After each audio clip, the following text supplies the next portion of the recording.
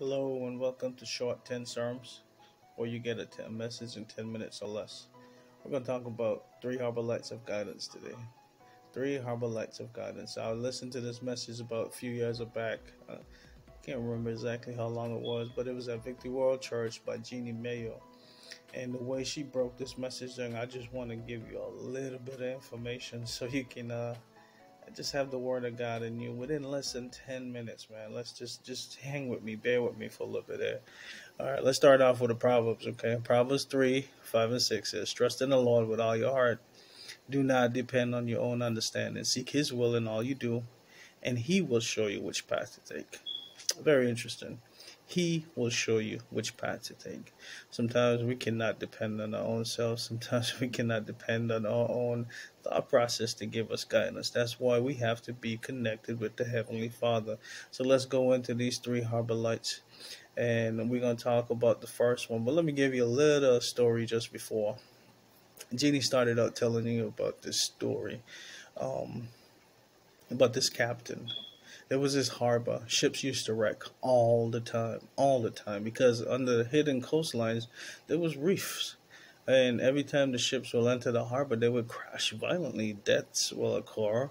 So this one clever captain, I guess God has to been connected. He had to been connected with the Heavenly Father because He gave him this knowledge and wisdom, was to put to place three lights on shore place those three lights on shore. And as long as you line those three lights up, it can be rough as hell.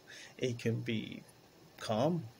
As long as you line those three lights up, you are able to enter port without difficulty, without casualties. Easy peasy. All right, so let's get into the first one. The first harbor light we're going to talk about is the Word of God. And in Proverbs 119, uh, verses 130 says, The teaching of the Word gives you light. The teaching of the Word gives you light. So the simple can understand. And I'm simple. I want to understand.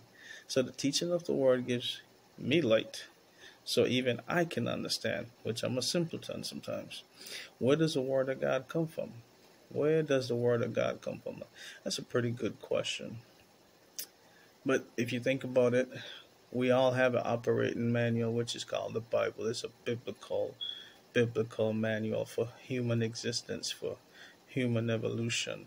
And I know for me, it has guided me for many, many years. And even as a child, I remember growing up being taught the word and knowing what to do, especially the good book of Proverbs. All right.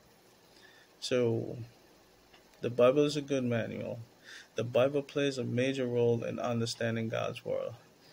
What about biblical communities? You have the Bible, you have biblical communities. Biblical communities are also called small groups, whatever you want to call it, is a small body of the church, is an extension of the church where you go out and meet and understand God's word. Because many times I've read scriptures and I always wonder, like, what what exactly does this mean? Yes, we have access to internet, um, we have access to all type of information at our fingertips, but at the same time, actually sitting down and discussing the word with somebody else, trying to understand and make sense of scripture helps you. All right. So remember, number one is the word of God. Word of God. Study the word. Get it in. Understand it. Meditate on it, and, and converse with it. Get around other people. Discuss the word. Second light is the peace of God. Is that inner calm, that inner knowing that God has your back uh, to keep you calm, that inner peace. Let's go to a scripture. Colossians 3:15 says, "And let the peace, soul harmony which comes from Christ rules as an umpire. An umpire. An umpire is the one that watch over everything to do with baseball. I'm not a big baseball fan, but I know for a fact that the umpire looks at everything. He's the one that's calling the shots. So let him be the umpire saying, Ooh, that's not good. Yes, that's good, my son. Okay? All right. So continuing in the scripture, it says, In your heart, calling out plays. Let him be the umpire of your heart, calling out plays, deciding and settling with finality all questions that arise in your mind. So you want that inner peace, take it to Him in prayer. Say, God, give me guidance. Show me the way. And if it, it's starting to align, you remember we have to put all these all these things in alignment. The first one is the Word of God. The second one is the peace of God. When you have difficulty choices to make, just put the word of God and the peace of God, and it will make it become a little bit more clear. Think about moving a car. Have you ever tried to move a car and it's not started? The power steering fluid is not flowing. It's the same concept. It's the same concept. Crank it up, let the power steering fluid circulate, and once it starts to circulate and you put it in the drive, you have the ability to now steer without difficulty. All right, moving on to number three, his circumstances. Isaiah 42 16 says, And I will bring the blind by a way that they know not. I'm blind, but now I can see. I have to seek God's word. I would lead them in a path that they know not. I will make darkness light before them and crooked things straight. Hmm. That last part, every time I read it, and crooked things straight. Sometimes my thought process are not in alignment with God's word, and I have to pray and ask God to help me with those situations. Circumstances should confirm God's guidance, but not be your only guide. Here's why the devil can open doors. The devil can open doors. He can pretend to be giving you a prophetic word, but it's not a prophetic word. It's coming from the enemy. So you have to line all three of these things up. So recapping again is the word of God, mm-hmm, the peace of God, and circumstances. Look at your circumstances. Evaluate it to see if it's lining up with God's word or not. I'll give you a perfect example. Many, many, many moons ago, I was given a job opportunity and I asked God, I said, God, if it's your will be done. He took me out of a situation where I was working long hours. Um, I felt that I was not spending enough time with my family. Placed me into the situation. It lasted less than a month. And I always wondered why. Why? And then within a few months after that, I was placed into a job where I was able to spend more time with my family. Family comes first. When it goes back to putting into priority God's first, then your spouse, then your, your, your children. It's nothing to do with a job. That's a that's a means, a source of income that He provides and bless you with. That's another um, discussion, not not for today.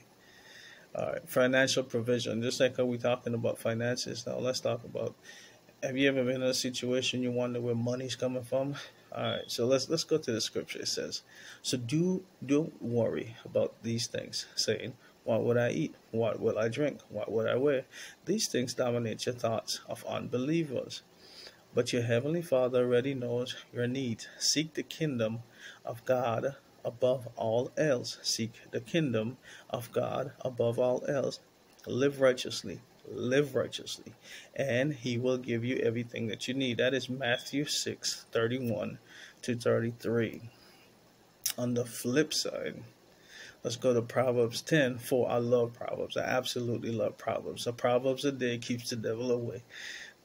10 4 says, Lazy hands bring poverty, but hard working hands leads to wealth. Lazy hands bring poverty, but hard working hands lead to wealth.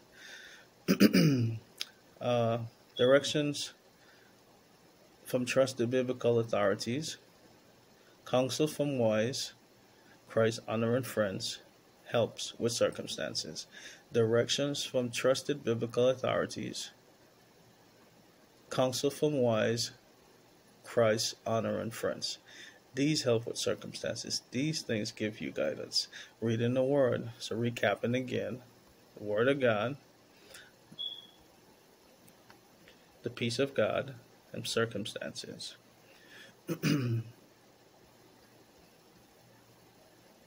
All right, I'm going to close with the scripture that we started out with, and it was Proverbs 3 5 to 6.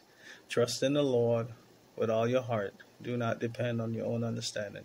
Seek his will in all you do, and he shall he will show you which path to take.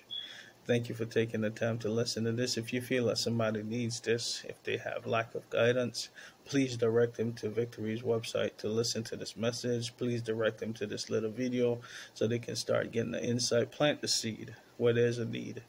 I thank you. I bless you and give God all the glory and honor. Amen.